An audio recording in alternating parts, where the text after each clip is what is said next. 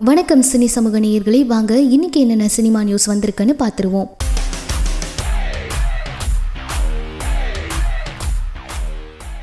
தமிழ் திரையுலகில் நிறைய அதிர்ச்சியான சம்பவங்கள் நடந்துட்டு இருக்கு. நிறைய திரைப்பிரபலங்கள் உயிரிழந்து வரதை பார்த்துட்டு இருக்கோம். அதே போல இன்னைக்கும் திரைப்பட தயாரிப்பாளர் ஜி ராமச்சந்திரன் அவங்க மரணம் அடைஞ்சிருக்காங்க. தமிழ் கன்னட திரைப்பட தயாரிப்பாளர் ஜி ராமச்சந்திரன் அவங்க உடல்நல குறைவால காலமாயிருக்காரு. கடந்த சில நாட்களாகவே உடல்நல குறைவோடு இருந்து வந்த ராமச்சந்திரன் புதன்கிழமை காலை உயிரிழந்திருக்காரு. களத்தூர் கண்ணம்மா எட்டுப்பட்டி ராசா ராஜாதி ராஜா உட்பட தமிழ் கன்னட திரைப்படங்களை தயாரிச்சவர். இவரது மறைவுக்கு திரையுலக பிரமுகர்கள் பல பேரும் இரங்கலை தெரிவிச்சிட்டு வராங்க. ஏற்கனவே பாத்தீங்கன்னா நம்ம தமிழ் திரையுலகில் நிறைய அதிர்ச்சி சம்பவங்கள் இந்த முறை நடந்துச்சு. அதிகமா மாரடைப்பு தான் நிறைய பேரை வந்துட்டு தாக்குச்சுன்னு சொல்லலாம். அதே போல இப்பவும் வந்துட்டு இவருடைய மனைவியும் ஒரு தயாரிப்பாளர் தான். அவங்க பேர் ஆர். பி. பூரணி. அவங்களும் மாரடைப்பால மரணம் அடைஞ்சாங்க. சில நாளுக்கு முன்னாடி தான் அவங்க மரணம் அடைஞ்சிருக்காங்க. அதை தொடர்ந்து இப்ப இவரும் உடல்நிலை சரியில்லாம இருந்திருக்காரு. இப்ப மரணம் அடைஞ்சிருக்காரு அவருக்கு சிவகுமார் சாமிக்குமார் அப்படிங்கிற இரு மகன்கள் இருக்காங்க. இவருடைய இறுதி ஊர்வலம் இன்று மாலை நாலு முப்பது மணி அளவுல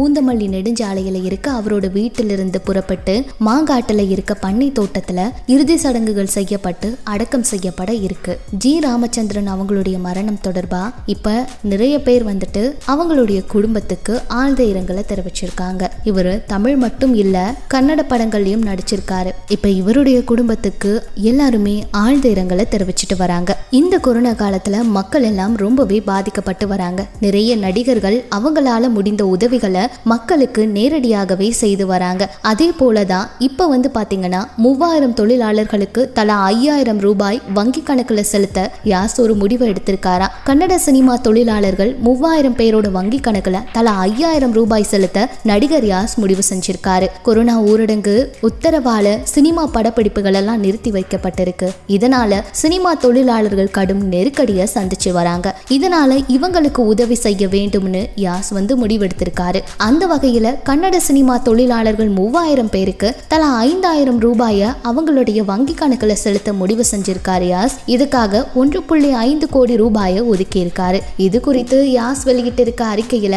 கண்ணுக்கு தெரியாத எதிரியா இருக்கிற இந்த கோவிட் தொற்று இதனால நாடு முழுக்க கணக்கில் அடங்கா நபர்களோட வாழ்வாதாரம் பாதிக்கப்பட்டிருக்கு. இந்த மோசமான காலகட்டத்தை மனதில் வச்சுக்கிட்டு எங்கள் திரைத்துறையினர் இருபத்தி ஒரு பிரிவுகளைச் சேர்ந்த மூவாயிரம் உறுப்பினர்களுக்கு என்னுடைய சொந்த செலவில் தலா ஐயாயிரம் ரூபாயை அவரவர் வங்கி கணக்கில் செலுத்த இருக்கேன் இந்த சூழலால் பாதிக்கப்பட்டிருக்க வழி மற்றும் இழப்புக்கு இது நிச்சயம் தீர்வாகாது என்பது எனக்கு தெரியும். ஆனால் இது நம்பிக்கைக்கான கீற்று. நல்ல காலம் பிறக்கும் என்பதற்கான நம்பிக்கை தான் என்று தெரிவிச்சிருக்காரு. அது மட்டும் இல்லை நம்ம தமிழ்நாட்டிலையும் நம்மளுடைய விஜய் அவர்கள் சார்பா இப்ப விஜய் மக் இயக்கம் நிறையவே செய்து வராங்க. அதே போல புதுக்கோட்டையில பர்வேஸ் அவர்கள் மருத்துவர்களுக்கு ஒரு கிராம் தங்க நாணயம் வழங்கி அவங்கள கௌரவப்படுத்திய விஷயம் வந்துட்டு அதிக அளவில் சமூக வலைதளத்துல வைரலாச்சு இதே போல இன்னும் நிறைய விஜய் ரசிகர்கள் வந்து மக்களுக்கு நேரடியா இந்த கொரோனா காலத்துல உதவி செய்திருக்காங்க. ஆனா இதுல பாராட்டப்பட வேண்டிய விஷயம் அதிக அளவுல மீடியாவுக்கே தெரியப்படுத்தாம மக்களுக்காக நேரடியா களத்துல இறங்கி அவங்க உதவி செய்ததுதான். இதை பற்றி உங்களுடைய கருத்துக்கள் என்னவோ அதை பகிர்ந்துக்கங்க. மேலும் இதே போல பல வீடியோஸ் வேணும்னா நம்ம சேனலில் சப்ஸ்கிரைப் பண்ணிக்கோங்க.